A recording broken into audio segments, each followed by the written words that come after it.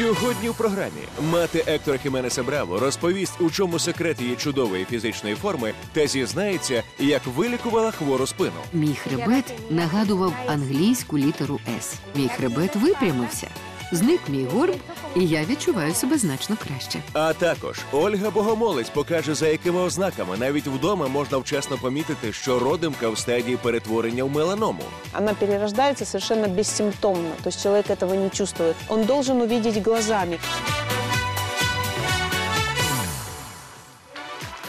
Здравствуйте, мои хорошие!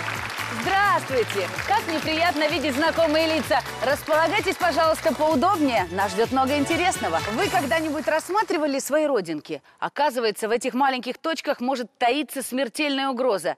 Очень скоро вы узнаете, как этот аппарат поможет нам ее выявить. А начнем мы, как всегда, по вторникам с битвы диет. Неделю назад началась очередная битва диет. Для ее участников Андрея и Юли все складывалось романтично и даже радужно. Но уже на первой неделе произошли неожиданные изменения. Давайте посмотрим. Тиждень тому боротьбу з зайвими кілограмами почали Юля і Андрій, які закохалися один в одного, спілкуючись в інтернеті, але ще жодного разу не бачились. Коли я зайшла на сайт СТБ, знизу під е, проектом Зважені щасливі, там якби Андрій був. У нас завязался разговор. Я ей позвонил. Мне очень понравился ее голос. Я влюбилась з першого, з першого звука. Я это м, в открытую скажу. Да, я люблю Юлю. Та не дивлячись на сильні почуття, вони не поспішають зустрічатися через гіркий досвід у попередніх стосунках. Прожили мы в браке счастливых 4 года. Врач мне сказал, что мне надо сбросить вес, ну, чтобы родился ребенок. И как раз она сказала, зачем мне дальше существовать рядом с таким человеком. Мне было больно, что отношения закончились, от тебя ушла та, которая тебя смогла полюбить в таком вот весе. Все, и ты дальше нахрен никому не надо. Ты, ты просто тупо кусок сала, Я була закохана, мені було 17-18 десь. Мені дуже сподобався один хлопець, і я спитала у нього, що в тебе до мене. Він подивився, сказав, я бачу, що ти типу, ну, влюблена в мене, але я говорю, між нами нічого бути не може, ми просто друзі. Хотілося наложити руки, хотілося просто піти в ванну, порізати вени і все. Через страх не сподобатись один одному, Юля та Андрій вирішили спочатку схуднути і тільки потім зустрітися. Я боюсь того, что я ее потеряю, что я ей не понравлюсь. Я хочу, щоб він мене побачив вже якби змінену, і обняти його, і просто бути з ним поруч, не дивлячись ні на які обставини, які складуться в нашому житті. Впервые в истории битвы диет участники по собственному желанию не увидят друг друга до самого финала. Уперше учасники обирали одну з трьох дієт, розроблених для них дієтологом за допомогою жеребкування. Боже мой, тиквіна дієта. Сніданок складається з гарбузового салату, до якого входить сирий гарбуз, додавання моркви та лимонного соку, а також гарбузової каші. В обід вживається овочевий суп на основі гарбуза та гарбузові оладки. На вечерю рагу або салат, звісно ж, з гарбуза. Один прийом їжі має бути об'ємом 300 мл. Гарбузова дієта дозволяє за два тижні схуднути на 8-10 кілограмів. Бурякова. На сніданок дозволяється вживати лише 150 грамів тертого відварного буряка або один стакан бурякового соку. На обід 100 грамів тертого відварного буряка та дві середні відварені моркви. На вечерю 150 грамів тертого відвареного буряка та 150 грамів вареного курячого філе. У середньому бурякова дієта дозволяє позбавитись до 10 кілограмів всього за два тижні.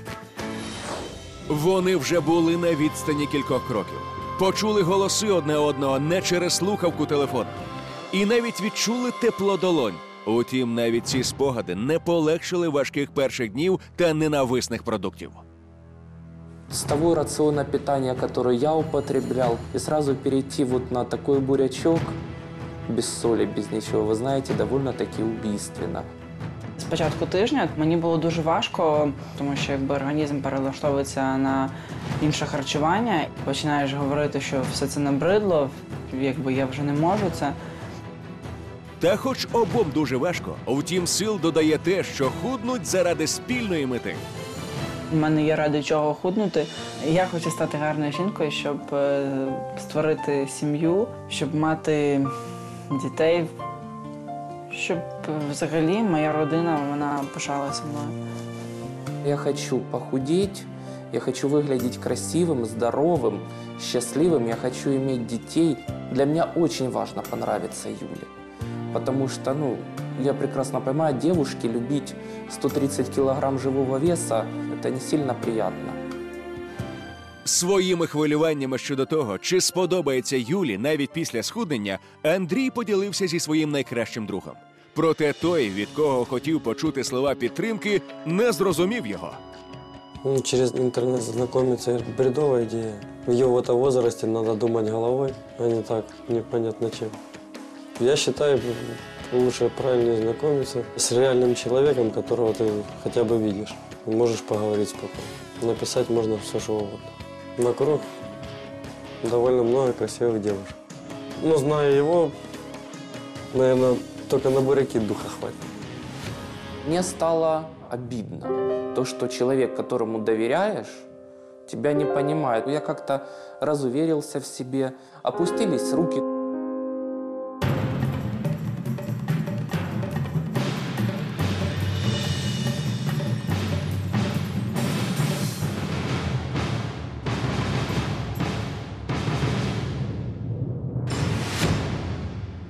Пришел домой. Я рассказал эту ситуацию маме. Она мне сказала, а неважно, где вы познакомились, ты поедешь, ты с ней встретишься, а после встречи будете решать, не понравишься ей. Ну, значит, такая судьба. Мама меня очень поддерживает. Мама всегда в любую трудную минуту, она всегда со мной. Я думаю, что это не имеет значения никакого, как человек знакомится. Я хочу, чтобы он полюбил себя, чтобы у него с- сбылись все мечты. Я его буду поддерживать. В той самий час за сотні кілометрів від Андрія такої самої підтримки потребувала і Юля. М, Якщо говорити про підтримку зі сторони родичів, то мені її дуже сильно не вистачало, тому що коли ти робиш якісь певні кроки, то їх ніколи немає поруч. І коли- тоді, коли тобі це потрібно. Ну, как можно относиться к отношениям, которые возникли по интернету? Конечно, с опаской. Неизвестно, что это за человек, что он из себя представляет. Все знают о том, что такие знакомства очень часто заканчиваются очень плохо. Конечно, не хочется, чтобы так случилось. Я сделала все возможное для того, чтобы предостеречь ее от неверного шага, потому что она еще не настолько взрослая, еще не знает всякие жизненные ситуации, какие могут быть. И, ну, почему у нее не было отношений? Мальчики ведь любят каких девочек? Стройных, как говорят, чтобы ноги от коренного зуба были. А Юля ведь не такая. Конечно же, я не хочу, чтобы кто-то дочками разбил сердце. Та Юля, хоч і не отримувала розуміння з боку найріднішої людини, усе ж налаштована змінитися. І єдиний, хто підтримував дівчину і вірив у те, що у неї все вийде, рефері битви дієт Микола Ворошнов. Конечно, несмотря на то, что у Юли все получается не совсем гладко, можно просто позавидовать ее упорству, тому, как она идет к своей цели. В любом случае, она хочет измениться. Тренування мені сподобалось, але було важко, і я відчуваю себе вже е, краще в плані фізичному, тому що мені стало е, легше пересуватися і А от Андрію було набагато важче виконувати програму тренувань Миколи Ворошнова. Адже через те, що мешкає в іншому місці, контролювати себе повинен був самостійно. Пришел, захожу, вижу, дорожки стоят, какие-то тренажеры. Как я побежал на той дорожке, я бегу, бегу, я чувствую все. Да не получалось у меня, как сосиска, вишу на этом тренажере, болтаюсь, болтаюсь. Такие мужчины вот качаются штангами, и по несколько там этих колес одевают килограммы, а я там с двумя, с какими-то этими маленькими килограммами я не могу поднять. Мозг вроде бы говорит «давай», а тело тебя не слушается. Как стало стыдно. Та хоч увесь тиждень Андрій терпів насмішки, а втім не відмовився від своєї мети позбутися зайвих кілограмів. А от Юлину віру в те, що зможе схуднути, постійно намагалася похитнути рідна мама. Вона не вірить в те, що взагалі можна щось змінити, що я зможу бути другою. І говорить такі слова, що моя зовнішність може не сподобатись йому. Я хочу, чтобы Юля знакомилась с реальными людьми, потому что они ее сразу будут видеть, воспринимать такой, какая она есть. А здесь в интернете человек потом может разочароваться. И ей, конечно, будет больно. Я уже объясняла, что он немножко ниже ростом, что у Юли вес больше, чем у него. Она будет выглядеть по сравнению с ним еще крупнее. Выглядеть они будут не очень хорошо рядом. Ты говоришь, что ты хочешь быть с Андреем. А ты ему нужна, Юля? Ты уверена, что ты ему нужна? А если он тебя увидит, и вот такая вот ты ему не понравишься? А он неизвестно, что за человек, и откуда он явится. И как он от- отреагирует на тебя. Все. Ну почему Я ты на не эту- хочешь поговорить на эту со тему мной? Ну, Мы больше разговаривать не будем. куда ты пошла? Иди сюда. И не вмешивайтесь в мою жизнь. А якщо мама права, якщо дійсно Андрій вирішив поглузувати, Юля щосили намагалася вдати, що ті слова її зовсім не хвилюють. Проте після тієї розмови не могла заспокоїтись. Я боюсь зустрічі з ним, і я не відчуваю себе гарною жінкою. Боюсь просто якби почути від нього те, що я йому не подобаюсь. Мені буде просто боляче, і я взагалі, чесно, якщо говорити, то я не знаю, як я це переживу. Для мене на даному етапі краще залишити ці стосунки в інтернеті і не хочу з ним зараз на момент зустрічатися.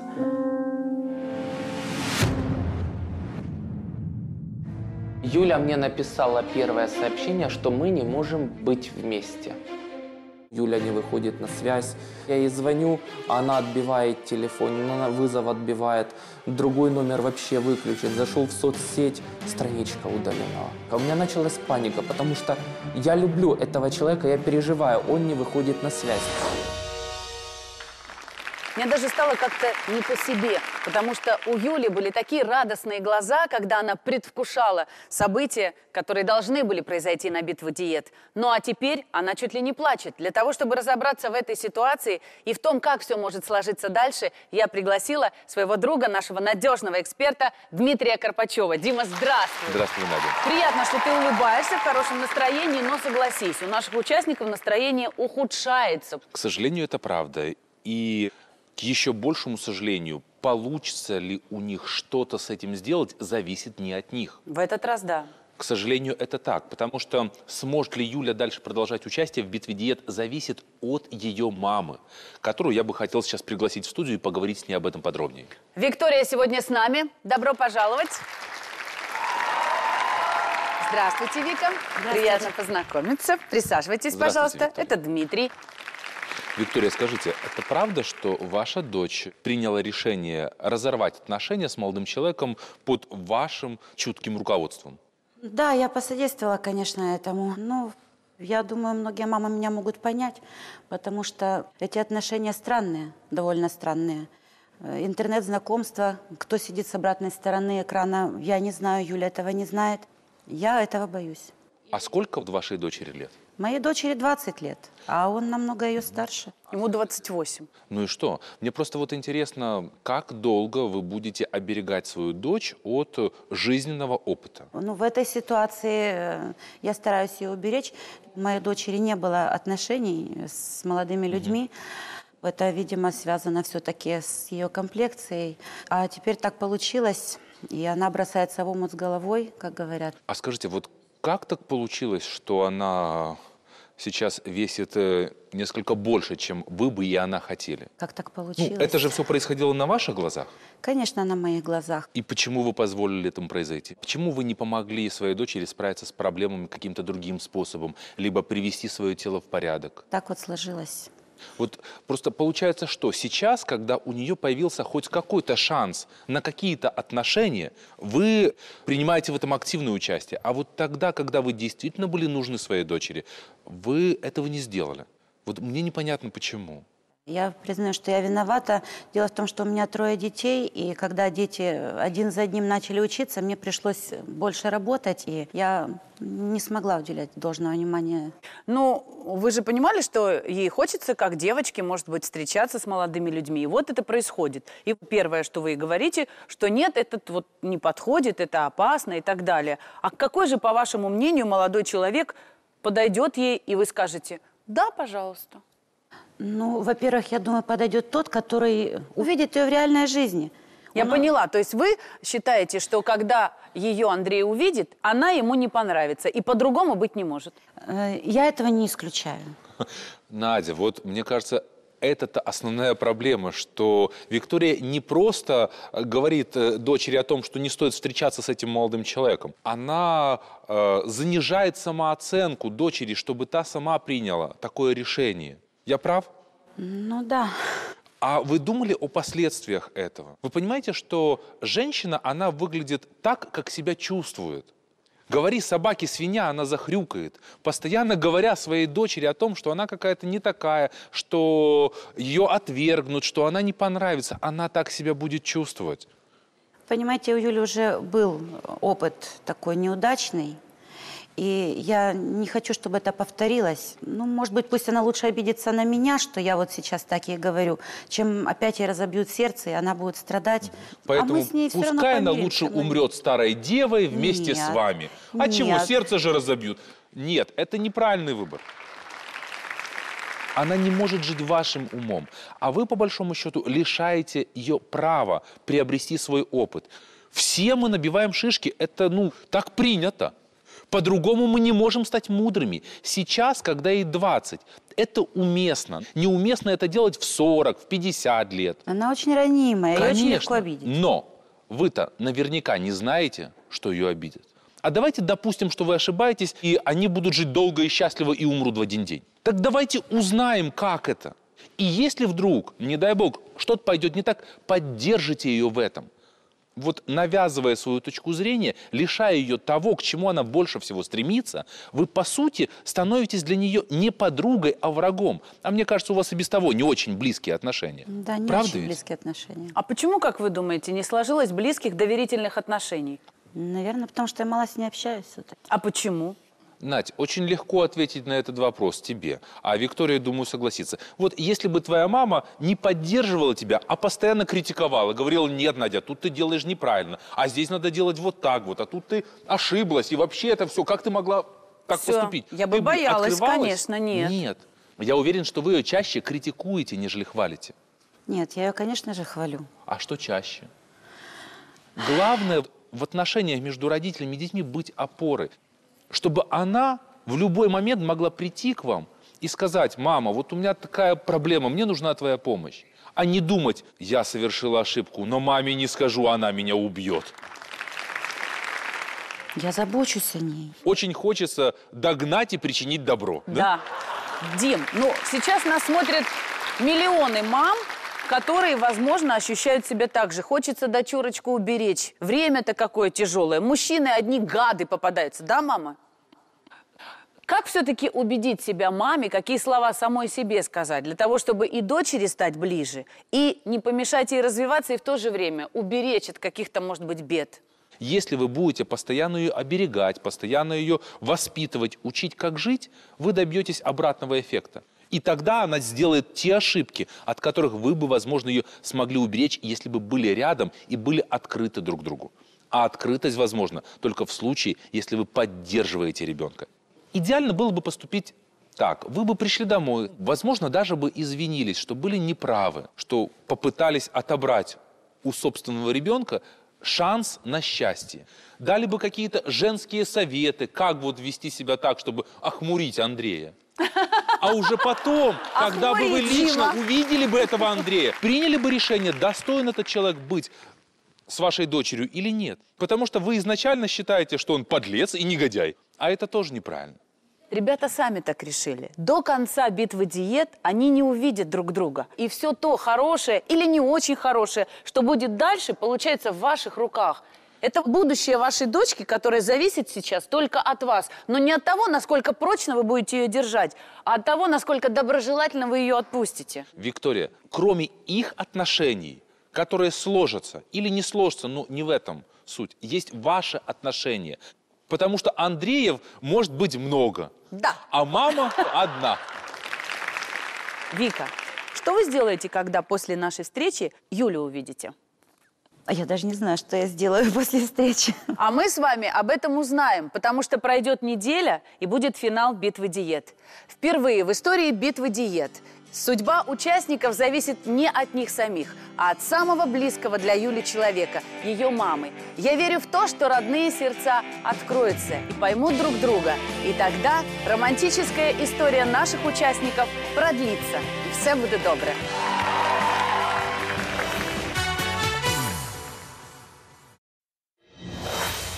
Здравствуйте! Сегодня мы поговорим о важности поддержания водного баланса в организме человека для жизнедеятельности и во время похудения. Это картина Леонардо да Винчи «Витрувианский человек». На ней вы отчетливо видите, что наш организм на две трети состоит из воды. Этот факт нам известен еще со школьной скамьи. Можно сказать, что вода важнее пищи. Она обеспечивает работу клеток и выработку энергии в организме. Вода активно участвует в процессе регулировки температуры тела. Поэтому, если вы пьете недостаточное количество жидкости, наступает обезвоживание, нарушается терморегуляция и может произойти перегрев тела. И даже для того, чтобы дышать, нужна вода, потому что она увлажняет кислород, которым мы дышим. Для этого процесса организм отдает 250 мл воды в сутки. И поэтому обязательно выпивайте 1,5-2 литра воды в сутки. Именно столько нужно для поддержания нормальных обменных процессов в организме. Мало кто знает, что именно недостаток воды в организме может стать причиной лишнего веса. Надеюсь, вы помните, что для поддержания водного баланса необходимо выпивать не меньше 8 стаканов воды в день. Если мы пьем мало воды, то продукты распада, которые образуются при расщеплении жира, не успевают выводиться из организма. И таким образом замедляется обмен веществ. Поэтому поддержание водного баланса чрезвычайно важно и для здоровья, и для красивой фигуры. Я рекомендую пить как можно больше минеральной воды, но без газа. На протяжении дня мы часто ошибочно принимаем чувство жажды за чувство голода и начинаем есть вместо того, чтобы пить. Всем известно правило. Чтобы отделить одно состояние от другого, нужно выпить один стакан воды за полчаса до еды. За это время вы поймете, хотите вы есть или просто ваше тело просит пить. Но ни в коем случае не пейте во время еды или же сразу после нее. Это путь к перееданию и лишнему весу. Запомните, что чай, кофе, кефир и соки не заменят простой воды. И старайтесь в рабочее время устраивать себе водобрейки вместо кофе-брейков. Например, для себя я выработал привычку выпивать один стакан теплой воды с лимоном. Ведь лимонный сок способен не только разбудить организм, но и ускорить обмен веществ и даже снизить аппетит. Обязательно возьмите это на заметку. Если уж сегодня мы говорим о воде, то и упражнения будем делать тоже в воде. Кстати, эффект от таких упражнений будет в два раза больше за счет сопротивления воды. К примеру, за 15 минут занятий в тренажерном зале или дома вы сможете сжечь 150 килокалорий, а в воде 300, которые, кстати, содержатся в кусочке любимого торта. К тому же важно то, что акваэробика не имеет противопоказаний. Ей можно заниматься в любом возрасте, с избыточным весом, беременным и даже тем, кто не умеет плавать. Ну что, давайте начинать.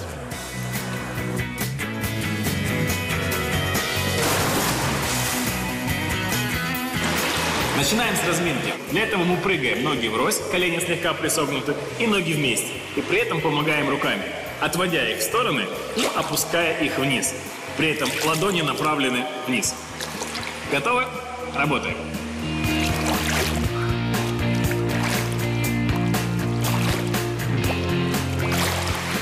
Не растопыривайте широко пальцы, соберите их вместе, иначе сопротивление воды будет меньше.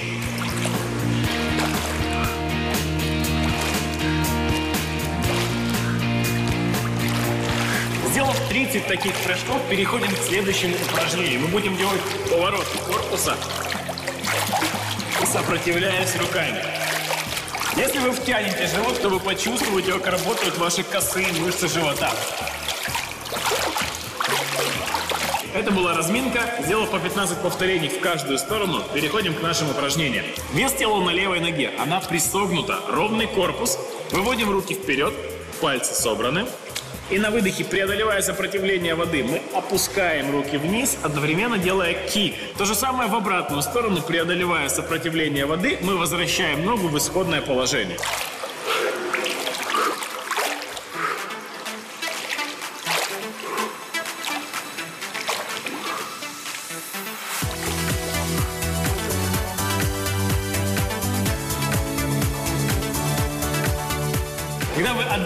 Выполняйте прыжки, которые вы делали в разминке. Ноги врозь, ноги вместе. Двигаемся дальше. Следующее упражнение для косых мышц. Мы будем делать диагональное скручивание, вытягивая ногу вперед. Для этого выводим ногу на уровень вашего пояса и при этом рукой тянемся в диагональ вниз. Вы должны почувствовать, как локоть касается колена.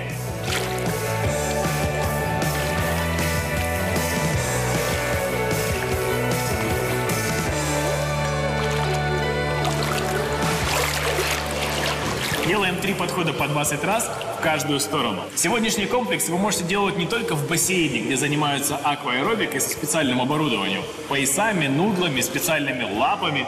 Вы также можете заниматься в речке, в озере и даже на море. Двигаемся дальше. Следующее упражнение направлено на верхнюю часть вашего корпуса. Мы вытягиваем руки в сторону, ладони плотно сжаты. На выдохе мы скрещиваем руки за спиной, как бы делая хлопок. При этом максимально сводим лопатки. Выводим их в стороны и затем сводим их перед собой. Делаем 20 раз, отдыхаем, используя прыжки и повторяем еще два таких подхода. В итоге у вас получится три подхода сведений впереди и сзади. Переходим к следующему упражнению, которое потренирует ваши руки. И бицепс, и трицепс одновременно. Прижимаем локти к корпусу, широко раскрываем ладони, выполняем резкое сгибание рук до прямого угла и резкое разгибание вниз. Движение нужно делать в энергичном темпе, только тогда будет эффект. И обязательно нужно плотно свести пальцы.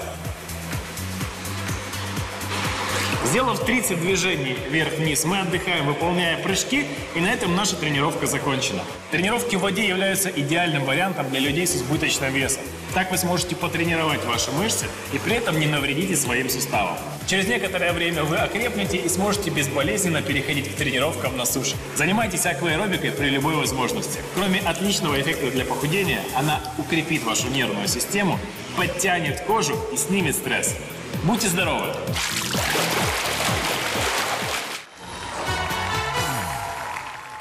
Вы готовы к занятию йогой? Не говорите «нет». У меня сегодня такая гостья, глядя на которую даже самый ленивый встанет с дивана. Встречайте, мама Эктора Хименеса Браво, Донья Архенис. Здравствуйте, моя дорогая.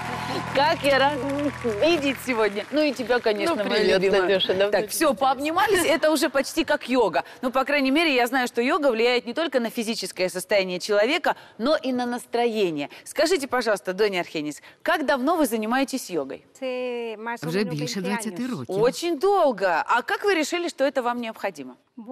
У мене були проблеми зі спиною, і мій хребет нагадував англійську літеру «С». Я лікувалась, ходила на терапії, і врешті-решт одна медсестра показала мені декілька вправ з йоги. Я почала виконувати ці вправи, і це призвело до того, що мій хребет випрямився. Зник мій гор, і я відчуваю себе значно краще. Люблю я йогу очень сильно, потому что она действительно помогает. И Доня Архения тому пример. Ты говоришь, что йогой можно заниматься в любом возрасте. Доне Архенис сейчас 65 лет. Если э, наши зрительницы и вы прекрасно выглядите. Ну, это мне просто Эктор по секрету сказал. Так бы я подумала, что вам только 50. Красно дякую вам.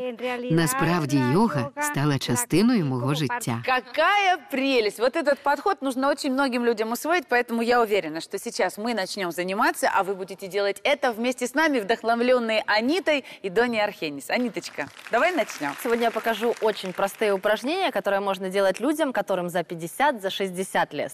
То есть в таком возрасте не поздно начинать Никогда не йогой? поздно начинать, и более Мгм. того, начав делать, буквально в течение одной-двух недель почувствуете такую большую разницу, что никогда больше не сможете бросить. Начнем мы с дыхательного упражнения. В нашем случае дыхание нам поможет расслабиться. Мы сделаем не обычное дыхание, а чуть-чуть с изюмом. Колени слегка согнуты. Вытягиваемся руками наверх, делаем вдох. Соединяем пальчики вместе. И здесь сглатываем. Просто и продолжаем глотаем воздух? выдох. Да. Еще раз. Выполняем вдох.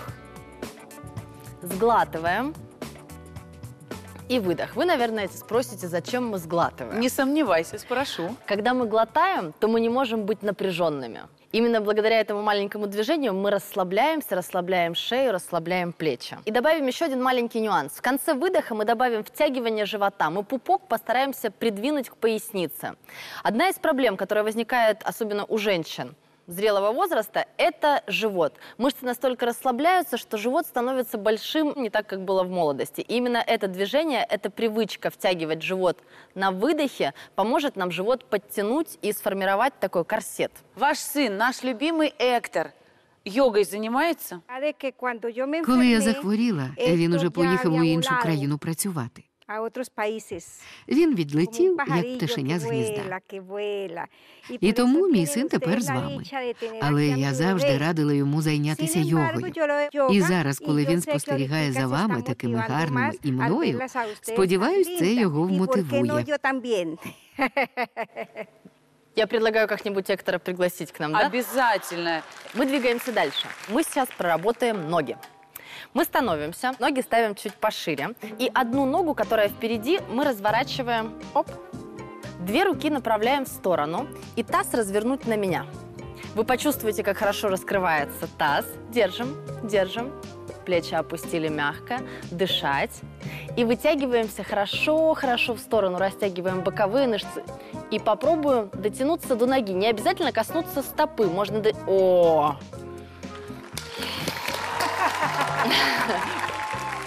Сразу заметно, когда человек занимается. Так, 20 лет занятий йогой. Разворачиваем еще носочек. В этой позе у нас укрепляются абсолютно все мышцы ног. Мы стараемся в этом положении задержаться подольше, но ориентир – это три дыхательных цикла. Мы успеем три раза сделать вдох-выдох, вдох-выдох, вдох-выдох. Это хороший результат, больше задерживаться не надо. И наша задача расслабиться в этом положении, получить удовольствие, научиться расслабляться, стоя на голове, сидя, лежа, как угодно. Вот это самое удивительное в йоге.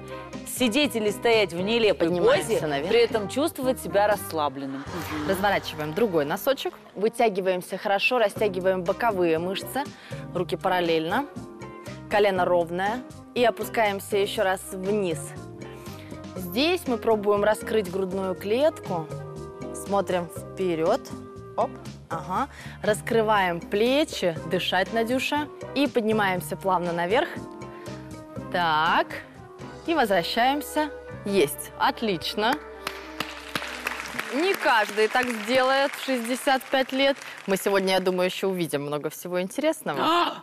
Доня Архенис. Возможно, встанем на голову к концу занятия. Итак, мы продолжаем. Мы присаживаемся. Аккуратно присаживаемся. Как часто заниматься? Заниматься нужно тогда, когда тебе хочется этого. Да, то есть не нужно себя ни в коем случае заставлять, как это связано с тренировками силовыми. Вот да. йогой заставлять себя не надо. То есть в йоге нет вот этого твоего любимого, нет боли, нет результата? Нет, здесь у тебя должно быть настолько рвение, да, вот личное, тебе самому должно хотеться заниматься. О, Дуня Архенис уже знает, что делать. Так, подтягиваем к себе, меньше разговоров. И это упражнение «бабочка». Зачем? А, как известно, чем старше мы становимся, тем у нас суставы становятся более заблокированные. Подвижность суставов теряется. И тазобедренные суставы – это одно из самых проблемных мест. Поэтому этим движением мы мало того, что снабжаем наш таз кровью, да, идет хороший прилив крови, мы еще и раздвигаем ноги, учим суставы работать амплитудно. Поэтому мы делаем фактически непривычное движение и улучшаем подвижность суставов. А скажите, вот э, там, где вы занимаетесь, Доня Архенис, есть девочки постарше, ну, например, лет 80? Є дівчатка, котрим 70-80 років. І є бабусі, котрим по 15. И є старенькі, котрим по 35. Кстати, мне кажется, очень важно для Украины. У нас э, многие женщины считают, что если они после 40, после 50, то уже все. Уже да. жизнь закончилась, уже какие тренировки, уже ничего с меня все равно не будет. Но Мне кажется, мы здесь пытаемся доказать все время, еще раз и еще раз, что просто начните, и разница вам очень сильно понравится. А доказательство наше сегодня – это великолепная Доня Архенис. И я благодарна Эктору за то, что он нас познакомил со своей мамой. Спасибо вам. Давайте дальше заниматься. Хорошо, и у нас остается последнее упражнение. Шпагат? Нет. О, и какое же нас ждет упражнение. Кто бы подумал, что мы будем в таком возрасте рекомендовать вам делать это упражнение, но мы будем, потому что оно очень-очень эффективное. Так. Мы становимся в горку. Ничего себе. Поза собаки? Сейчас будет э, собака мордой вниз. Я поняла. Горка, горка.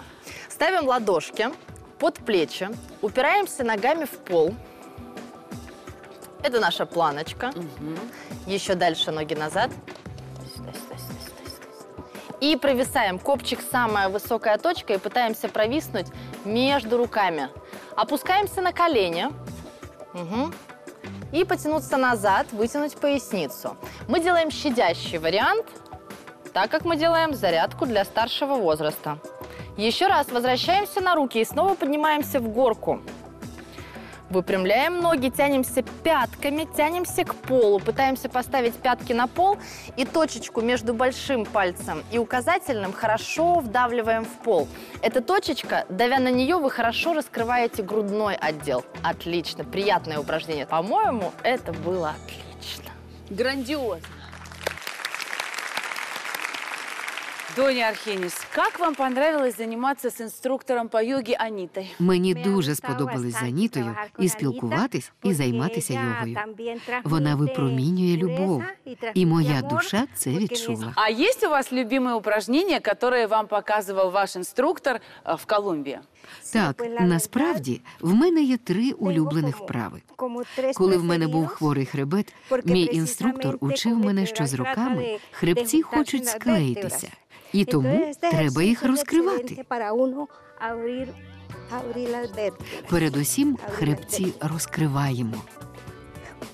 Ой, як добре, Надю, у тебе виходить. Ой, спасибо, Доня Архенис. А тепер називається вітрила. Ничего себе, это плуг. І робимо ножиці. Так, ладно, надо пробовать. І відхиляємось назад. Доня Архенис, вы просто... Сподіваюсь, у мене не зіпсується зачіска.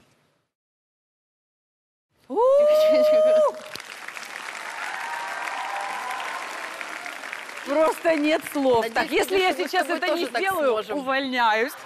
Цю вправу я обожнюю. Ну что, Ти змогла? Ну вы просто великолепны. Мы засмотрелись, мы ничего не смогли. Мы вот так вот делали. А тепер робіть. Піднімаємо ноги.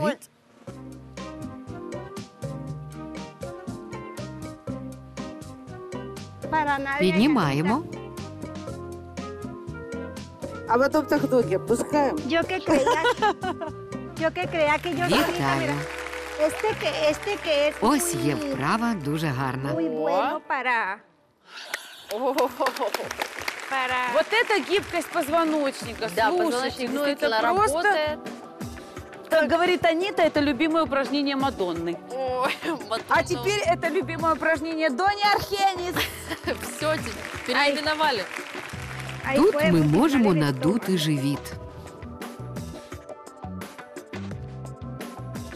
Y lo podemos hacer varias Повторюємо veces. декілька разів. Це дуже гарна вправа для хребта, живота. З власного досвіду кажу вам. О, Доня Архенис, давайте встанем, чтобы мне легче было вас обнять и расцеловать. Моя дорогая, вы просто... Дуже приємно. Велике дякую. И втроем. Y después Коли ми закінчуємо заняття, ми прощаємось ось так. Спасибо вам большое. Давайте договоримся, девчонки, что в следующий раз с нами тут будет заниматься Эктор. Класс. Я уже за. Думаю, yo creo що que так. si vas tú, Мама да. сказала, значит, все, Эктор. Укреплять свое здоровье не поздно никогда. Доня Архенис сегодня нас вдохновила на то, чтобы мы прямо с сегодняшнего дня начали заниматься йогой, и все будет добре. Для семейных праздников и торжеств в каждой семье есть особое блюдо.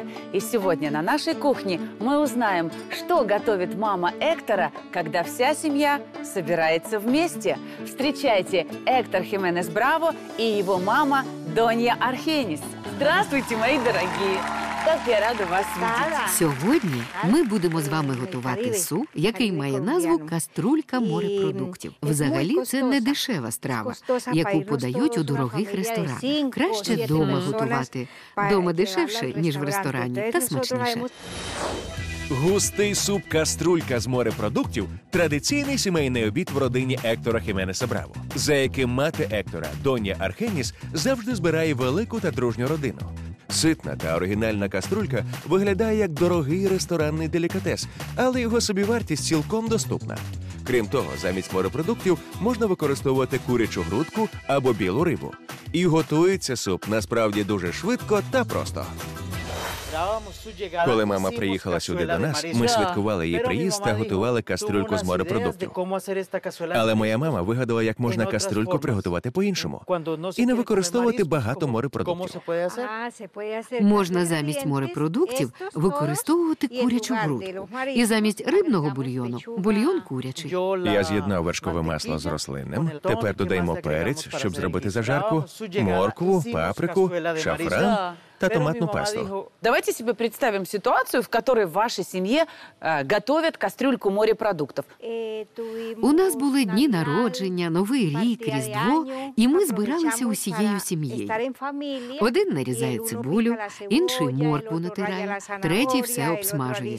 І так разом ми це блюдо і готували. Тогда давайте я буду что-то делать тоже. Хочу помогать. Знаєте, що ви обидві можете робити?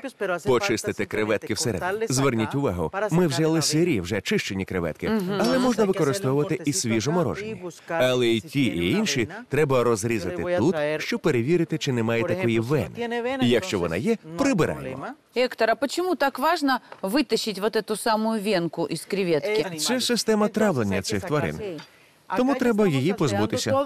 А потім треба нарізати цибулину. Неважливо, то червона чи біла цибуля, можна навіть зелену А взяти. такую приправу, как укроп, вы знаете, Доня Архенис? Так, звичайно, знаю кріп. В Україні чомусь дуже часто використовують кріп для різних страв. Я же поэтому и спрашиваю Доню Архенис, кладет ли Доня Архенис куда-нибудь укроп, потому что Эктор укроп недолюбливает.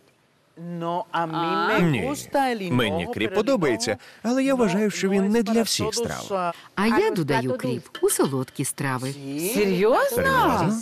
Ничего себе. Це для мене новина. Ты еще многого не знаешь, Эктор. Ось коктейль з морепродуктів. Дуже зручна річ. Купуєш на ринку, розморожуєш і одразу в суп. Но мы очень часто говорим здесь у нас в Украине, насколько важно употреблять морепродукты. Ну, например, потому что в морской рыбе есть йод, который нам просто необходим. Или вот аминокислоты, которые есть в лососе. Поэтому у меня к вам такой вопрос, Доня Архенис. Вы прекрасно выглядите, просто великолепно. Вы следите каким-то особым образом за своим питанием? Так, звісно. У моєму раціоні лише свіжі продукти. Я вважаю, що краще, ніж додати у страву звичайне молоко, додати кокосове. И мы сегодня будем добавлять обычное или кокосовое? Сьогодні ми додамо вершки 30%, але можна використовувати і вершки, в яких менше жиру. Тепер додаємо маленьку чайну ложку паприки. Увага! Все обсмажуємо буквально 2-3 хвилини на сильному вогні, щоб овочі стали м'якими. І в цей момент додаємо біле сухе вино. Якщо не бажаєте додавати вино, нічого страшного. Без нього теж вийде дуже смачно. Ну, мы говорим кастрюлька морепродуктов, но у нас почему-то сковородочка. Можна готувати як в каструлі, так і в сковорідці. Традиційно його готують в таких глиняних посудинах, так званих горщиках. Кастрюлька Слушай, так это можно наш, в наших украинских Ага. горшочках. А вы знаете, что у нас есть такие горшочки керамические? Эктор вам показывал? А, мирала, Вот. Так, так, ось вони. Ah, sí. De- Цей суп можна se там puede hacer готувати, ahí, і cogen смак mejor буде sabor la просто cazuela. неперевершений. Entonces, le Далі agregamos додаємо harina de пів trigo, склянки пшеничного борошна. media До речі, я taza зрозумів, de що harina навіть de trigo. колумбійські страви майже всі Entonces, засновані на fíjese, французькій а кухні. esto fue Пам'ятаєш, я donde тобі yo розповідав, empecé як cuando готується yo aprendí ру. esta receta. Це суміш борошна і масла. Hace muchísimos Це також як años. звичайна суміш ру, En тільки з Colombia додаванням овочів. le Тепер agregamos додаємо рибний бульйон. de pescado. Ага. Если у нас э, кастрюлька морепродуктов, добавляем рыбный бульон. А если с курочкой, тогда куриный. Правильно, Доня Архенис? Caldo de Так, pollo, абсолютно perfectamente. вірно. Si es de- ¿Qué piensa mi mamá? Hay que Тепер limpiarlo. треба Hay очистити que рибу, limpiarlo а porque зверху estas, прибрати mm, плівку. Simplemente esta Треба parte зрізати se оцю quita. частину. Красная рыбка морская – это просто источник ненасыщенных аминокислот, которые необходимы нашему организму, чтобы быть здоровыми, молодыми долгое время. Ajá, Це точно. exactamente.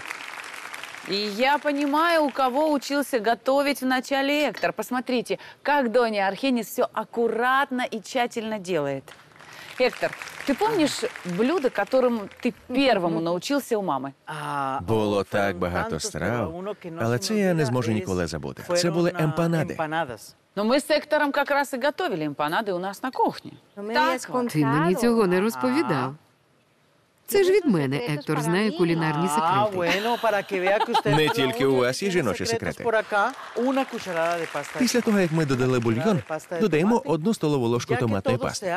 Після того, як ми все це змішали, додаємо туди вершки та кокосове молоко.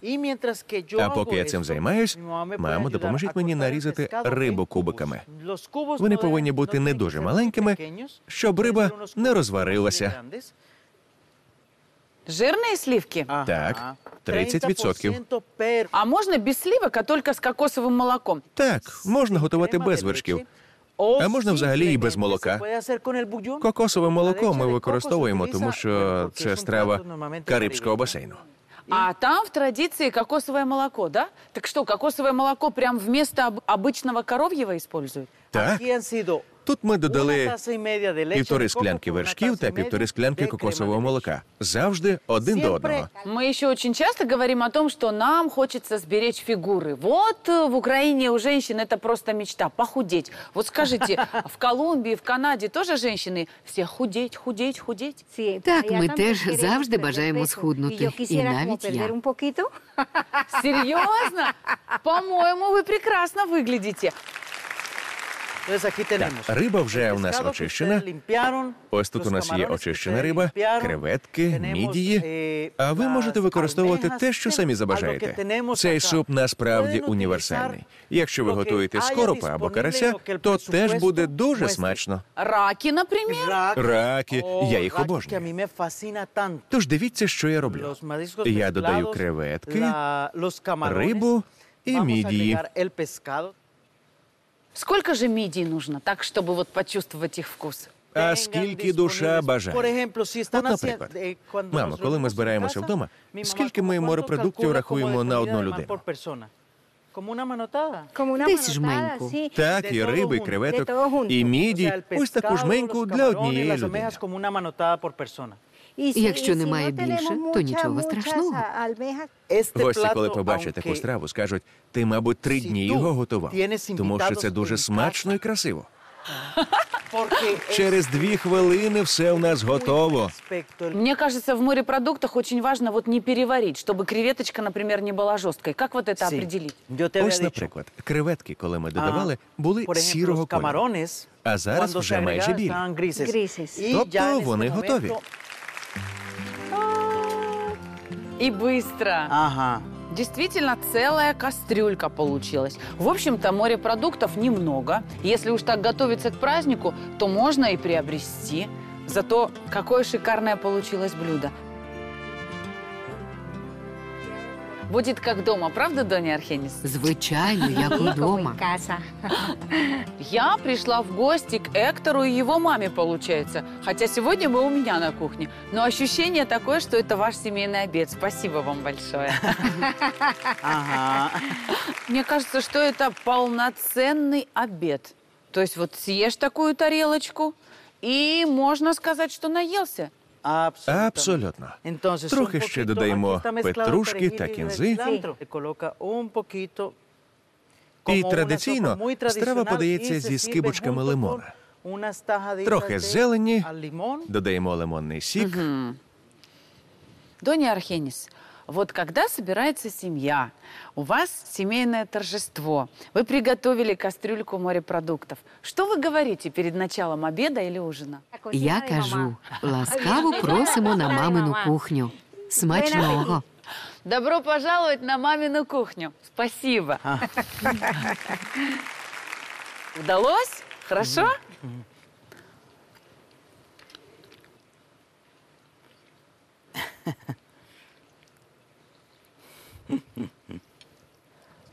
Прежде чем что-то скажу, спасибо вам большое. Это очень вкусное мамино блюдо. Знаете, почему я так говорю? Потому что, когда я в следующий раз приеду домой к маме, я скажу, мама, я знаю, как готовить мидии по-новому. Совершенно неожиданный вкус. Спасибо. Для приготовления кастрюльки из морепродуктов нам понадобились креветки, мидии, лосось, кальмары, сливочное масло, мука, оливковое масло, болгарский красный перец, лук, чеснок, морковь, рыбный бульон, паприка, сливки, кокосовое молоко, белое сухое вино, кинза, петрушка, томатная паста. В кастрюле или сковородке на среднем огне разогреть оливковое и сливочное масло. Добавить лук, красный перец, чеснок, морковь и обжаривать до нежного и прозрачного состояния около 10 минут. Затем добавить муку и мешать, пока не загустеет. Посолить и поперчить по вкусу. Затем добавить сливки, бульон, кокосовое молоко. Довести до кипения, добавить морепродукты и проварить минуты 3-4. В последнюю очередь добавить мидии и проварить еще минутки две. Украсить петрушкой и кинзой. Оставайтесь у меня в гостях, впереди еще очень много интересного и полезного. Прихожу я как-то к Танюше Литвиновой в гости с коробочкой трюфелей. А она мне и говорит, я и сама такие могу не хуже приготовить. Сегодня будет доказывать. Здравствуй, моя дорогая. Здравствуй. Будем готовить конфеты? Да. Сейчас-то мы узнаем, кто из моих гостей любит конфеты, а конкретно шоколадные трюфельные. Никто, я так и знала. Вообще. Да, сегодня мы знаем, что такое настоящий шоколадный трюфель. Трюфель це одна з найвідоміших шоколадних цукерок у світі. Була названа на честь одноіменного гриба завдяки тому, що зовні вони дуже схожі. Сьогодні цукерки шоколадний трюфель виробляють понад 20 країн, але батьківщиною цього делікатесу, звичайно ж, залишається Франція. Э, Для того, чтобы они получили действительно очень-очень вкусными, конечно, шоколад нужно выбирать по качественнее, я бы сказала, да. И черный, да? черный, да, и э, процент должен где-то 70-80 быть э, содержание какао. Я прям не устаю посылать вас, мои дорогие, на наш сайт добрый.стб.ua. Ведь там вы можете посмотреть множество интересных и полезных сюжетов программы «Все будет доброе», в том числе и тот, где Андрей Бабаев учит нас правильно выбирать шоколад. Ох, вкусно же было! Я взяла сушеную вишню, чтобы наши трюфели были, ну, еще вкуснее. Я добавлю туда ром. Представляешь, они будут у нас пьяненькие, эти конфеты. Мои любимые пьяные вишни. Ой, какие я песни пою, когда наемся конфет. Вот это напилась, а я пьяная. Слушай, а это будет, ну, как вот пьяная вишня, или все-таки детям можно давать? Ну, когда деткам готовите, конечно, ром не нужно добавлять. Немножечко горячей воды, чтобы измельчить ее лучше. Ну, раз пошла такая пьянка, Танюш, то что можно еще добавлять в трюфельную основу, в конфетную? Э, клюкву, изюм, курагу, чернослив, ну, много чего, вот э, сухофрукты какие-то. Можно орехи добавить. Танюшенька, сколько там шоколада? Здесь две плитки шоколада по 100 грамм. Обычно шоколад фасуют. И я добавила сюда 20-30 грамм, не больше, сливочного масла. А если так мало добавляем, то, может, вообще можно сливочное не класть? Ты знаешь, нельзя. Масло работает как эмульгатор. Оно помогает этой массе быть более плотной. Это вот очень важный момент. Я пробовала делать Нюанс. без сливочного масла. Не, не получится нам скатать конфеты. Так. Я сюда добавляю сахарную Сахарная пудру, 100 пудра. граммов сахарной пудры. А я пока вспомню, а ты скажешь, знаешь, правильно или неправильно я все запомнила, как ты говорила, как топить шоколад на водяной бане.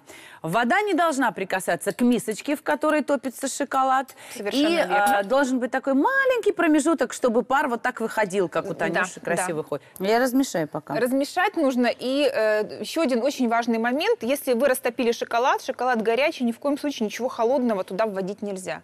Нужно вводить обязательно в него теплую какую-то смесь. Вот мы сейчас вишню, эту сахарной пудрой подогреем немного. Да ты в что? микроволновке, да. Это же начнет ром испаряться, Танюш, а мне нельзя. То есть можно делать вариант просто чистенький, скажем, без алкогольных добавочек для детей. Да. И для наших любимых девишников исключительно с ромом. Да, ты знаешь, э, ну, пару таких конфеток, и настроение ну, кардинально меняется. Немножечко вот перца красного, смотри. Подожди, каенский – это самый острый, Острый перец. перец, вот и ты чуть-чуть. пол столовой ложки туда кладешь. Смотри, на краешке, немножечко. Ты его даже там не почувствуешь, но у конфет совершенно другой будет вкус. А подогреть эту смесь можно, наверное, в микроволновочке. Да. Быстренько, да? Да, да, да, давай. Сколько тебе включить минуточек, дорогая? 20 секунд. Ого.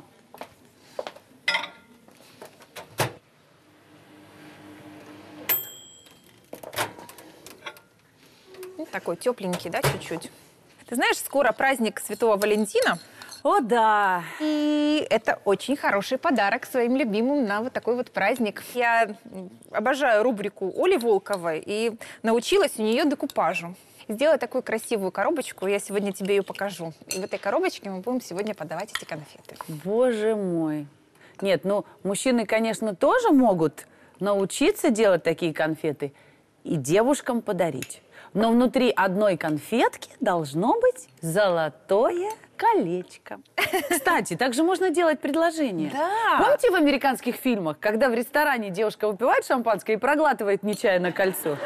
Так вот, в конфетку можно тоже так положить, но предупредить, что где-то там есть сюрприз. Откусывать маленькими кусочками. Теперь очень важный тоже момент. Видишь, какая масса? Она ста- становится вязкой, вязкой, вязкой такой вот с каждой минутой. Мгм. То есть она уже превращается из вот этой вот шоколадной растопленной массы, которую можно пить буквально, да, как горячий шоколад, в вязкую вот такую вот массу. И мы обязательно должны отправить ее в холодильник. Мы немножко с тобой обхитрим Скорее ситуацию. отправляй, потому что я сейчас уже готова наброситься. Ой, ребята, так вкусно.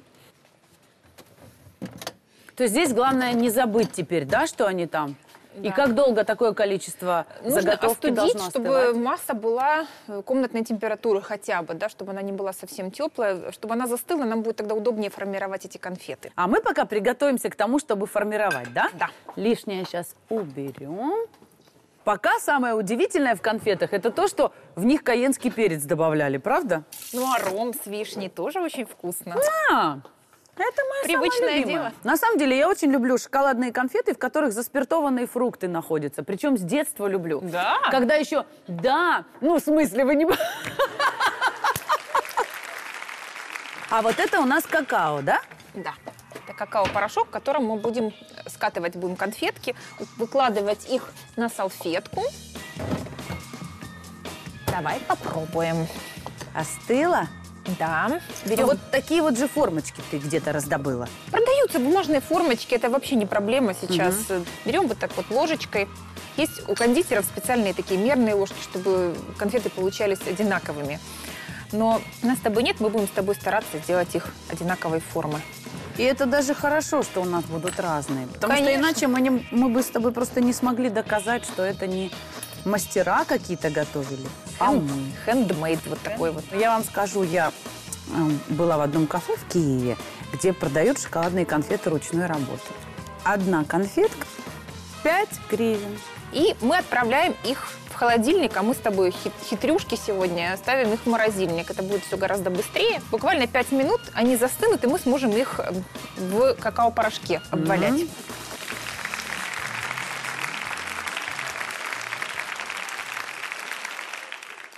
А, Кстати, рома вообще не чувствуется. А каенский Можно перец? было больше. Да. Каенского чувствуешь? перца не чувствуется. Надо было больше. Ты чувствуешь вот эту остринку такую? Она такая пикантная. Ну, я тебе уверяю, что если бы ты не знала, что там есть каенский перец, ты бы его не почувствовала. Но он здесь просто необходим. Что это вот ощущение, когда горячий шоколад пьешь, и все внутри вот так тепло становится. А тут вроде бы конфета не горячая, а тепло становится. Каенский перец, да. А ты говорила, что уже научилась у Олечки Волковой, нашей рукодельницы «Золотые ручки». Олечка, привет. Делать коробочку с декупажем? Да, посмотри, какую я прелесть сделала. Ой, это такая же красивая, как ты мне на день рождения подарила. Да. Моя бубочка, как вспомню, прям сердце тает. Такая коробочка, и на ней такие жабки. Я говорю, Танюшка, это я. Она говорит, нет, Надюшка, это к деньгам. Полюбуйтесь, какая красота. Как сделать такую коробочку с декупажем? Кстати, так можно не только маленькую коробочку, а все что угодно. Конечно. Если вы вдруг до сих пор не знаете, быстренько на сайт добрый.stb.ua Олечка Волкова там показывает. Чтобы было быстрее, можно даже тарелку охладить и выкладывать их на холодную тарелку. Тогда все происходит гораздо быстрее. Берем конфетку. Э, Вышло лишнее масло и влага, да? Да, да. А, и тогда, и вот так и тогда легче их обваливать в какао-порошке. И они становятся такие вот, видишь, мохнатенькие. Можно один сделать в виде трюфеля, да, вот такой вот длинненькой формы, удлиненной. Немножко Мгм. вытянуть ему конусом вот так вот. Такой вот красавчик. Слушай, это, это мужчина, жена которого умеет конфеты готовить. Он же с- моя такая рукодельница, даже конфеты, все сама, сама, боже. Но опять же, я настаиваю на том, что эту технику изготовления трюфелей надо и мужчинам освоить. Конечно. Ты помнишь вот этих обнаженных по пояс мужчин, которые в рекламе? Да? Да. Вот смотри, девочки чаще задышали. Мужчины, это же вам совет. Сперва в спортзал, накачать мышцы, а потом такой мужчина раздевается. А ведь после шоколада что бывает? Любовь. Для приготовления шоколадных трюфелей нам понадобился черный шоколад, сушеная вишня, сливочное масло, ром, сахарная пудра, каенский перец и какао-порошок. Сушеную вишню измельчить в блендере и залить ромом. Немного подогреть. Шоколад поломать, выложить в железную или стеклянную миску, поставить на огонь кастрюлю с водой, дать закипеть, сверху поставить миску с шоколадом, уменьшить нагрев и, помешивая, подержать на водяной бане, пока шоколад и масло полностью не растопятся. Снять массу с огня. Добавить сахарную пудру и перец подогретую измельченную вишню, тщательно размешать. Соединить с растопленным шоколадом. Охладить массу до консистенции мягкого пластилина. Насыпать на рабочую поверхность какао-порошок. Набирая ложкой небольшие кусочки шоколадной массы, выложить на рабочую поверхность и сформировать конфеты круглой или конусообразной формы. Выложить конфеты на холодный поднос и поставить в холодильник для охлаждения. Готовые трюфели густо посыпать какао-порошком. Ой, давайте поаплодируем. Давайте, потому что это просто чудо, как красиво. Заготовка для трюфелей вкусная, я уже проверяла. Конфеты красивые, я уже вижу. Коробочка изумительная, да ты мастерица. Ну, как я сама себя люблю, да, Танюш? Это тебе, моя хорошая. Как я ждала этих слов. Коробочка домашних трюфелей. Но тебя, дорогая, тоже угощу. Ну да, нужно попробовать, какой шедевр мы сегодня сотворили. Нет слов. Я теперь буду говорить. Мои любимые трюфеля кондитерской фабрики Танечка Литвинова. И я вам совершенно точно говорю, вот лучшего подарка к Дню Святого Валентина или просто в приятный день для вашего любимого человека, чем такая коробочка домашних конфет, невозможно придумать. Ну, невозможно. Спасибо тебе, моя дорогая. И дальше будет тоже вкусно, интересно и хорошо. Как всегда, во все буду добрая. Моя куколка.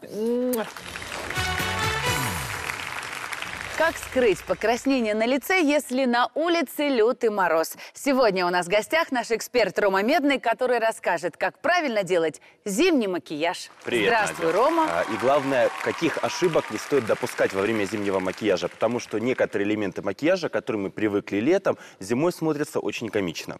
И мы сейчас разберемся, какие, но представь нам, пожалуйста, свою помощницу. А нам поможет Ирина. Ирина, здравствуйте. Те же проблемы, что и у всех. Кожа краснеет, и получается, идешь, красный носик, щечки бледные, ну, в общем, Ничего хорошего. Один ужас. Сейчас Рома Медный решит все проблемы абсолютно. Начинаем с тонального средства. Для начала мы нанесли хороший питательный крем, который у нас поддерживает кожу. Затем мы наносим легкий тональный крем. Тональный крем, как мы уже выяснили, зимой не должен быть слишком плотным. Видите, он у меня довольно такой жиденький. Да. Он стекает. А, в отличие от летнего тонального крема, который мы иногда можем выбирать чуть более насыщенного цвета для того, чтобы сообщить лицу здоровый загорелый оттенок, зимний тональный крем мы должны подбирать под цвет кожи. То есть он должен максимально с ней сливаться. А наносим точно так же, как и в любое другое время года.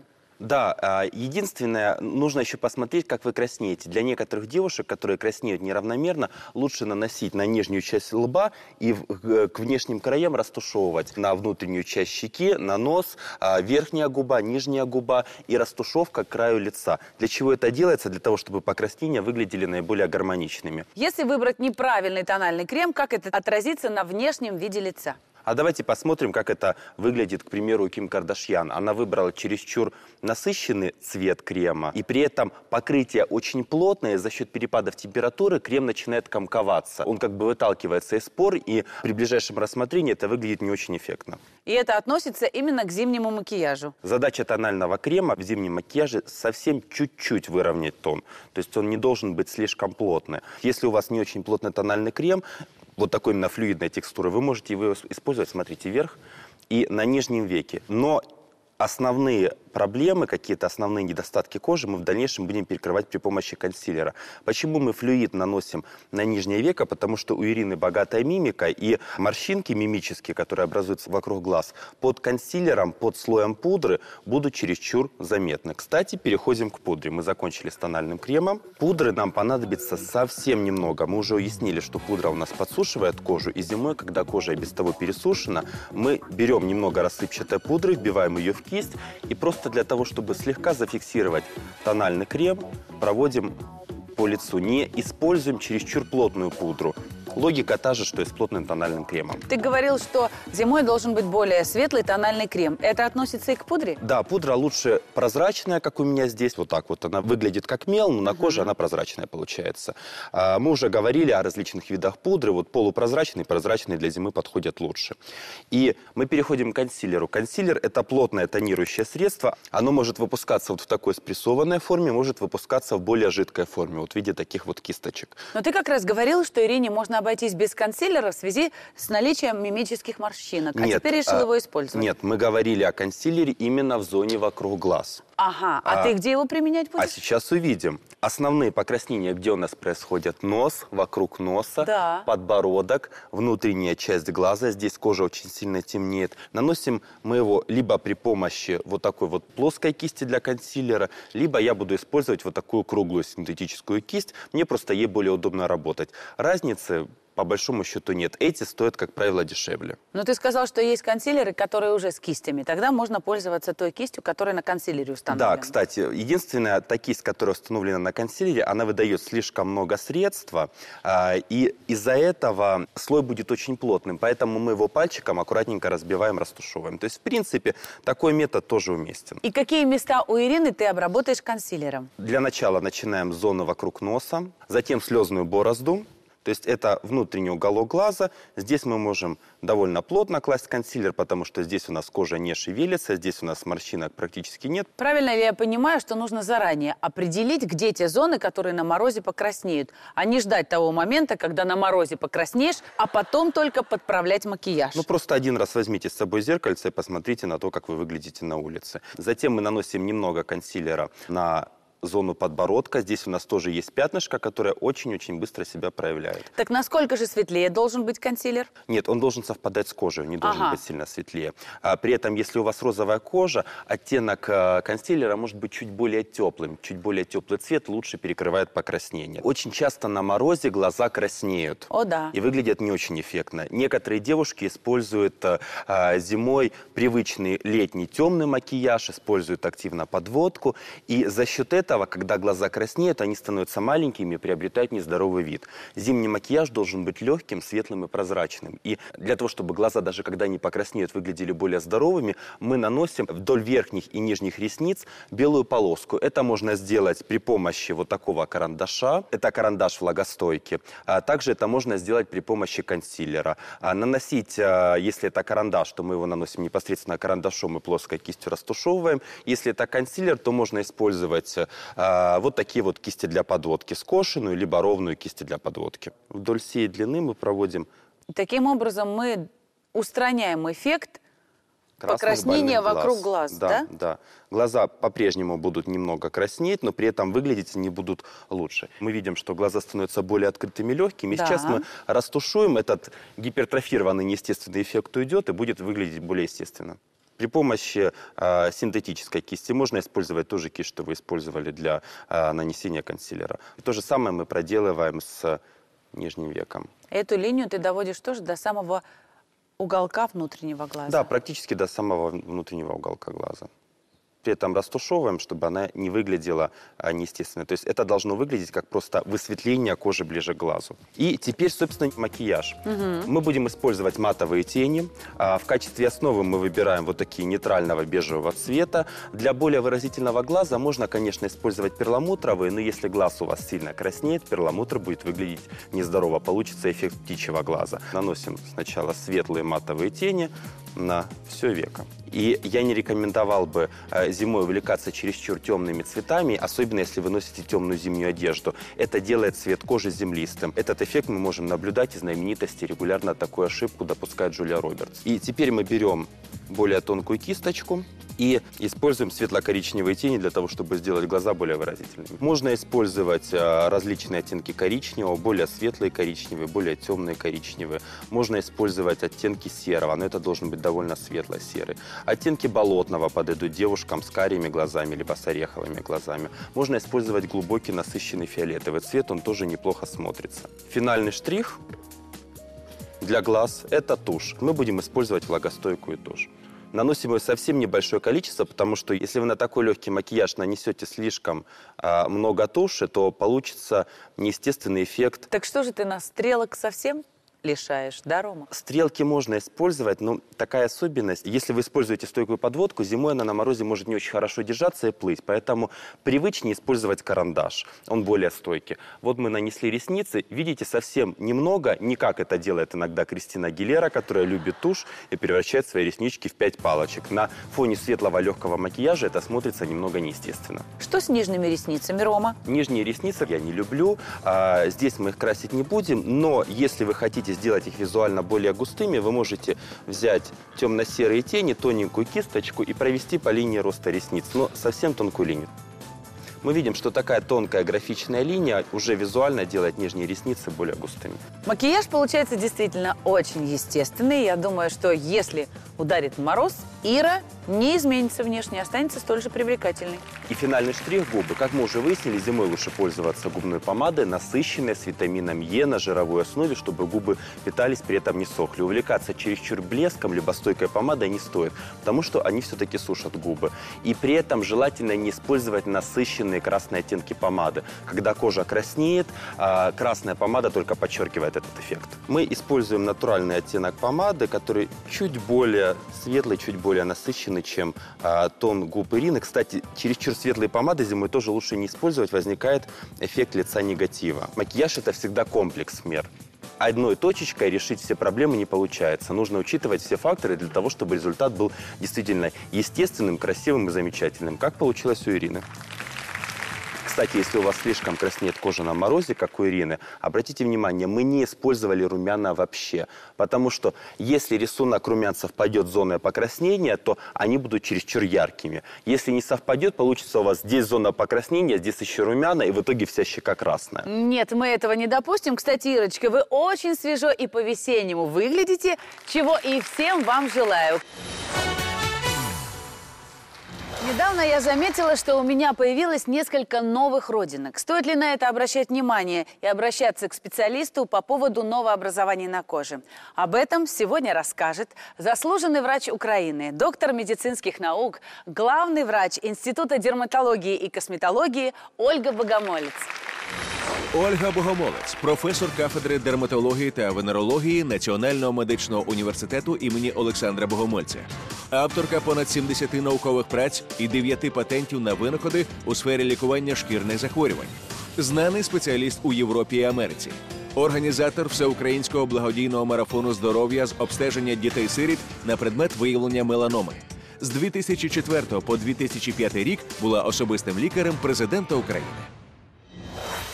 А также у меня в гостях руководитель проекта дистанционной диагностики родинки Игорь Качалава. Здравствуйте. Спасибо, что пришли. Спасибо огромное. Это проблема животрепещущая. И вы имеете возможность, мои дорогие, сегодня получить консультацию специалиста по поводу родинок, которые есть на вашем теле или, может быть, недавно образовались.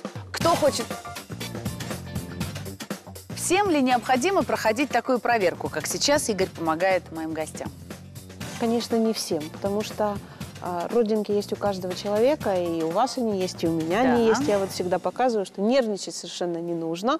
Я знаю, что родинки имеют свойство перерождаться в злокачественные опухоли. Насколько эта проблема распространена в Украине? На самом деле э, родинка может перерождаться в одну из самых злокачественных опухолей, она называется меланома. Почему эта опухоль опасна? Потому что она очень быстро метастазирует. То есть буквально через 6 месяцев после изменения родинки она может дать маленькие опухоли в другие органы и системы, которые, собственно говоря, приведут к смерти человека. И специально для того, чтобы научить людей э, первым признакам, мы э, придумали такое э, правило. Нужно запомнить всего-навсего слово «аккорд». Аккорд – это аббревиатура, где каждая буква что-то означает. Буква А означает асимметрию. Родинка, если провести через нее условную ось, должна разделиться на две половинки ровненькие. Если же эта условная ось делит родинку на две неравные половинки, это первый признак опасности. Буковка К в слове аккорд означает край. Край родинки должен быть ровный. Если на нем появились зазубринки, какие-то неровности, это второй признак того, что, возможно, идет перерождение. Буковка О означает окраску. А самое главное, чтобы окраска была равномерная. Может быть более светлая, темная. А, Но вот если окраска неравномерная, в ней появились вкрапления, это а, третий признак. Буковка Р в слове аккорд означает размер. А, Чем больше размер, тем выше риск. Поэтому те люди, у которых есть а, родимое пятно, они относятся к группе риска. Но при этом размер может быть суммарный. Например, у человека может быть 100 родинок маленьких, и риск достаточно высокий, потому что а, клеточки, которые формируют родинки, меланоциты, у каждой из них есть риск перерождения. И вот буковка «Д» в слове «аккорд» означает динамику. Динамика – это какое-то движение вперед. Родинка увеличивается в размере, на ней появляются корочки, она кровит, а, изъязвляется. Это тоже признак возможного перерождения. Если, например, родинка асимметричная от рождения, и с ней ничего не происходит, она не меняется, значит, все спокойно, все в порядке.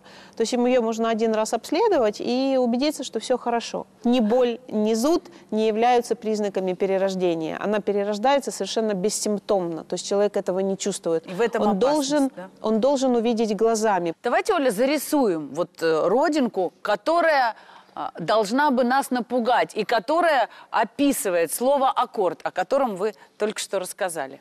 А означает асимметрию. Вот это наша родинка. И если вы проведете через нее ось, эта половинка будет неравна той половинке. Буковка К означает край. На нем могут появиться такие зазубринки. Буковка О означает цвет, если в родинке появились вкрапления. Буковка Р означает размер, вот если она увеличивается и растет. А буковка «Д» означает динамику, все, что с родинкой может происходить. Вы видите асимметрия вот здесь, здесь неровный край, здесь вкрапление другого цвета, увеличение размера и корочки, трещинки или кровоточивость. Если все пять признаков аккорда появились, то, конечно, сразу побежим к врачу. А если только два, например, из этих пяти, стоит ли обращаться к специалисту и консультироваться? Обязательно. Потому что э, если они есть уже все пять, то, скорее всего, что полгода уже прошло, и э, шанс, к сожалению, того, что прогноз будет не совсем благоприятный, он очень высокий. Итак, мы запомнили, что такое аккорд, разобрались с этим. Насколько часто нужно посещать специалиста, если ну, что-то вот из этих изменений происходит? К группе риска относятся люди, у которых есть 50 родинок и больше – у них очень высокий риск того, что какая-то родинка начнет перерождаться, поэтому они относятся к группе риска и раз в году должны приходить к доктору. Угу. У всех, у кого в семье была меланома, эти люди должны раз в году как на работу приходить на осмотр к угу. доктору. К следующей группе риска относятся люди скандинавского происхождения. Это те, у кого светлые волосы, но не крашеные, голубые, серые, зеленые глаза, у которых много веснушек. Вот генетически эти люди должны были жить ближе к полюсу, где не такая солнечная активность. И когда они мигрируют, переезжают в страны более горячие, угу. Их кожа менее защищена и более восприимчива. Поэтому у этих людей значительно выше риск перерождения родинок. К этой же группе относятся те люди, у которых есть, сейчас скажу такое слово, новое, наверное, диспластические невусы. Да. Невус – это родинка, а диспластический – это какой-то не такой. Невус похожий на яичницу. Яичница глазунья, помните, как она выглядит? Да. Кто-то ел яичницу глазунью? Скорее всего, все. Да. Вот она выглядит в центре темненькая, да, а вокруг более светленькая. Так вот, родинка именно так и выглядит. В центре она темненькая, а вокруг более светленькая. Так вот, люди, у которых есть диспластические невусы, у них риск э, получить меланому в 50 раз выше, чем у людей, у которых таких невусов нету. Кроме этого, к группе риска относятся люди, у которых есть врожденное пигментное пятно, то есть родинка большая, с которой человек родился, и особенно высокий риск, если на ней нет волосков. Кроме этого, нужно помнить, что самый главный фактор риска – это солнечные лучи. На сегодняшний день в структуре онкологических заболеваний на первом месте злокачественные опухоли кожи. Для того, чтобы вовремя прийти к специалисту, нужно, наверное, не только на родинки обращать внимание. На нашем теле могут появляться какие-то другие новообразования, например, бородавки или родимые пятна. Что еще должно привлечь наше внимание? Ну, на теле есть много всяких заболеваний, которые появляются. Люди идут к косметологу, косметолог говорит, так, бородавка. Ее вымораживает или выжигает. И у нас много случаев, когда приходят люди – у которым что-то удалил косметолог, а у них уже метастазы по всему телу. Так это была не бородавка? На самом деле это была не бородавка, потому что есть такая форма, называется беспигментная меланома. Она визуально очень похожа на бородавку, то есть она не темненькая, как родинка, она прозрачненькая. Меланома, э, рак кожи, образовывается не только в связи с родинкой, а, да? Может быть два пути. Может родинка переродиться, а может он появиться на здоровой коже. Поэтому очень важно, если вы идете и решаете что-нибудь где-нибудь удалить. Все, что вы удалили, обязательно должно быть отправлено на анализ. И э, на протяжении недели, 10 дней э, вы должны получить заключение, то есть ваш доктор, где будет написано, что да, действительно, родинка, или это не родинка, или это что-то другое. И на основании этого определяется дальнейшая тактика лечения, и именно этот диагноз является окончательным. Куда все-таки правильно отправляться, к какому специалисту за любой консультацией и процедурами? Этот врач может называться дерматолог, может называться дерматоонколог, то есть тот дерматолог, который имеет специализацию в злокачественных опухолях. Пока результаты обследования, которые прошли некоторые из моих гостей, не готовы, давайте, может быть, ответим на вопросы. Кто хочет задать вопрос специалисту? Здравствуйте, меня зовут Оксана. У меня к вам такой вопрос. Что делать, если сорвали родинку? Если совсем сорвали, и если там что-то осталось, то то, что осталось, нужно завернуть в мокрую марлю и привести в клинику для того, чтобы сдать ее на анализ. А, место с которого полностью сорвали родинку, его можно обработать перекисью водорода, сделать, прижать марлечку или ватку и подержать, чтобы остановилось кровотечение, и подождать, пока все заживет, и после этого можно прийти к доктору. Если же ничего не осталось, просто сорвали совсем, и она потерялась. В этом случае нужно остановить кровотечение в домашних условиях, заклеить ранку, подождать, пока все заживет, и приблизительно через 2-3 недели, когда начнет формироваться рубчик, прийти к доктору для того, чтобы он посмотрел, сделал дерматоскопию, это специальный метод обследования, и определил, что осталось и что происходит. Спасибо. Пожалуйста, кто хочет еще задать вопрос? Добрый день, меня зовут Наталья. Э, вот вы говорили о волосках на родинке. Э, у меня такой вопрос, можно ли их выдергивать? Несомненно, с точки зрения безопасности родинки, лучше эти волоски срезать. Причем срезать можно почти до основания маленькими ножничками. Потому что выдергивая волосок, вы все время стимулируете волосяной фолликул, и для родинки это не совсем безопасно. Спасибо. Спасибо за вопрос. И, пожалуйста, у вас есть возможность еще задать вопрос. Здравствуйте, меня зовут Юлия. У меня есть маленький ребенок. И я хотела бы у вас узнать, Ольга, э, в каком возрасте можно детям удалять вот родинки или какие-то другие новообразования? Удалять нужно только тогда, когда нужно удалять. Вот если есть признаки перерождения, то на возраст мы не смотрим, потому что речь идет о сохранении жизни. Еще вопросы у кого? Здравствуйте, меня зовут Марина. У меня такой вопрос по поводу наследственности. В моей семье случилась несколько лет назад трагедия. У меня умерла мама от меланомы. И хотелось бы спросить, сколько мне нужно всю ли оставшуюся жизнь наблюдаться, быть под контролем у дерматолога?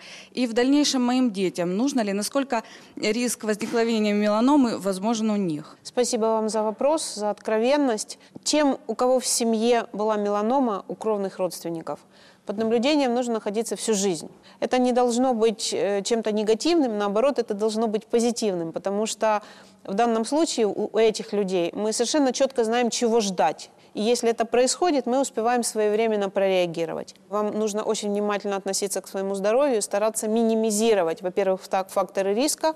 Это загар, это солнце, это солнечные ожоги.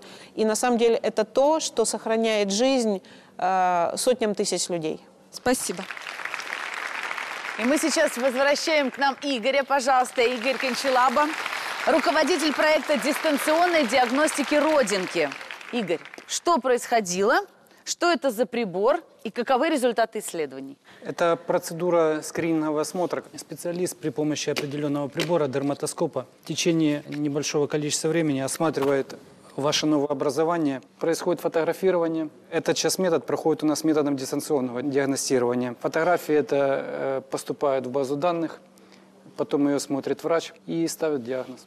Вы посмотрели несколько моих гостей. Каковы результаты исследования, скажите, пожалуйста? Вот таким образом происходит, если вы будете не в Киеве, а будете где-то у себя дома, в Черновцах, в Чернигове, в Луганске, в Кривом Роге, вот а, такое изображение мы получаем. Здесь виден а, невус, пигментный невус волосистой части головы.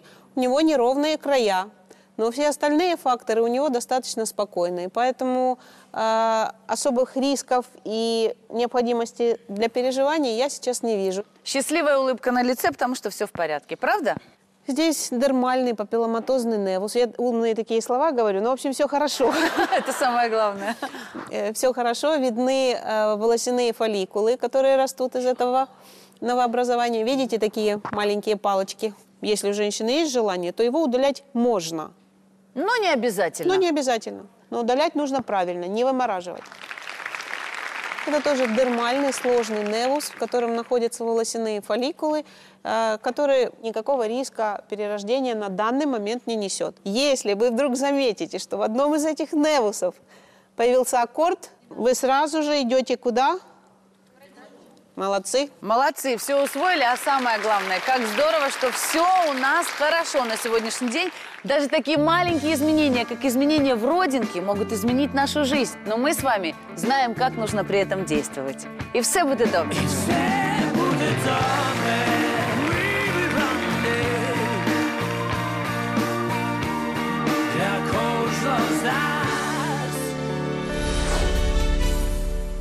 Дивіться завтра. Что общего между шиной и жвачкой?